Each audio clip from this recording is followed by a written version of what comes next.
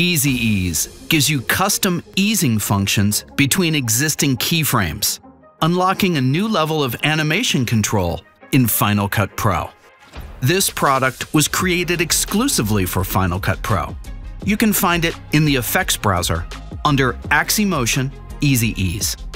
In this video, I'd like to focus on what's newly added in a recent free update to Easy Ease. In a nutshell, it's super easy to use.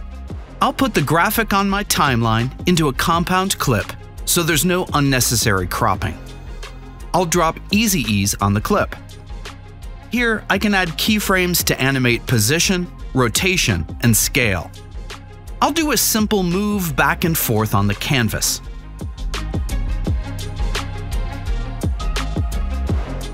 Now, to add easing, I'll take a look at the animation dropdown. There are a ton of options here. New in Easy Ease 1.2 are Cubic Ease In and Cubic Ease In and Out. Use Cubic when you need smooth, general purpose movements. Quartic Ease In and Quartic Ease In and Out. Use Quartic for more pronounced and snappier animations. Exponential Ease In and Exponential Ease In and Out.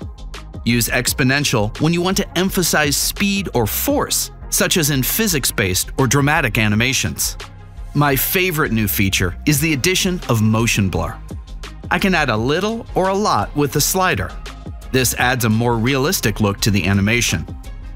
Easy Ease was already a powerful and popular effect to enhance animations in Final Cut Pro, and the free 1.2 update adds some excellent new features. Download a free trial today right from the FX Factory application. Create with a wide range of great video effects at fxfactory.com.